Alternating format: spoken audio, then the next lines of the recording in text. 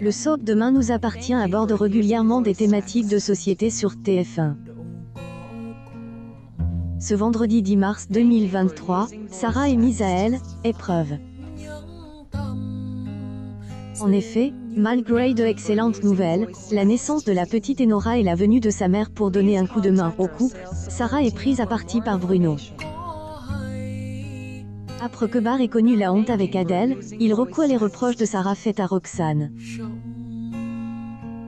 En effet, la jeune femme ayant donné la vie à la petite Enora est surprotectrice. La venue des un bébé est un événement qui chamboule le quotidien des parents, et les jeunes femmes en font elles, experience.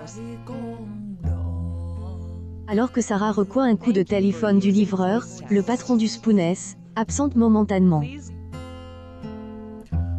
Bruno, le père de Nathan et Julie, à elle, autre bout du comptoir, finit son verre de whisky et S, approche de Sarah.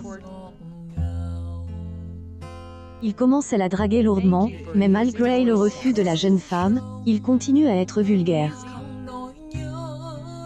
Il est hors de contrôle alors mimique. Une autre personne au comptoir lui dit de se calmer.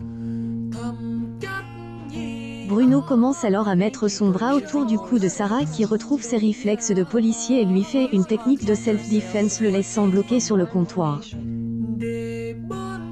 Elle le lâche, il laisse, écarte et lui envoie une insulte homophobe, signant une agression choc. Elle lui dit de partir. Bruno parle alors de représailles. Bat arrive et demande à Sarah si elle va bien. Jusque. Où Bruno est-il capable d'aller quand il veut nuire à une personne? Demain nous appartient et à retrouver du lundi au vendredi dès 19h10 sur.